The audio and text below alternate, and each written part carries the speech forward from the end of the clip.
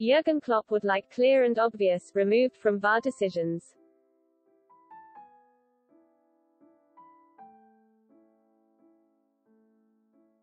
The Liverpool manager would like video assistant referee to be more focused on getting the calls right, even if it means overruling the refs more often.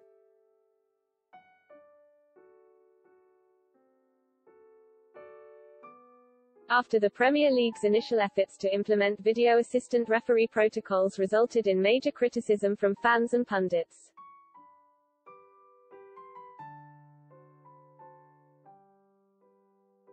The league have attempted to tweak their approach for the 2021-22 season in order to allow the games to flow a little better.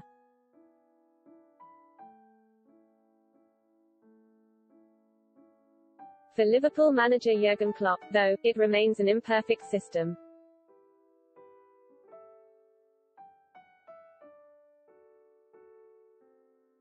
And much of that imperfection, he believes,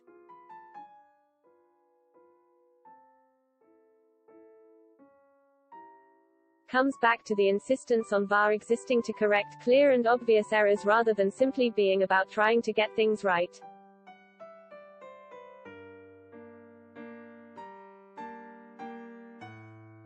In this moment it's how we use VAR, Klopp told This Is Anfield when asked what he'd like to change regarding rules and officiating.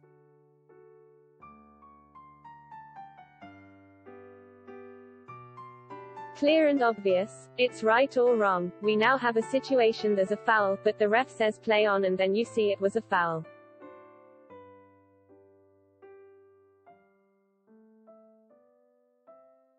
The clear and obvious I would change.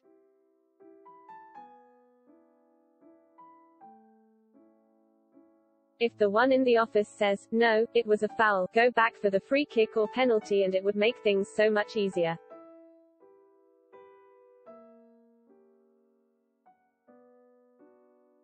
Now we have another guy in the office who sees it better, but says, I don't want to overrule him.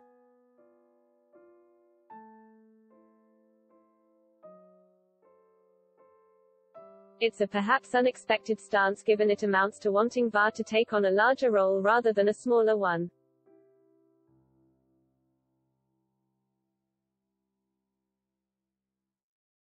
The latter of which is what the league appears to be attempting to move towards in an effort to answer criticisms regarding last season's implementation.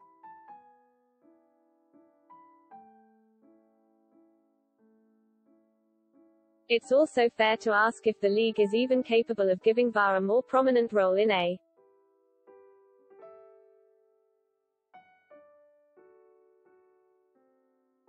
manner that could be implemented quickly and not lead to more complaints.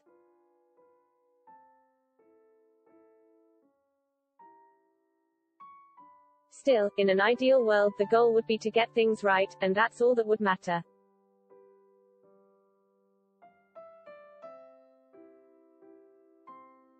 It's all about the right decision, nothing else, Klopp added.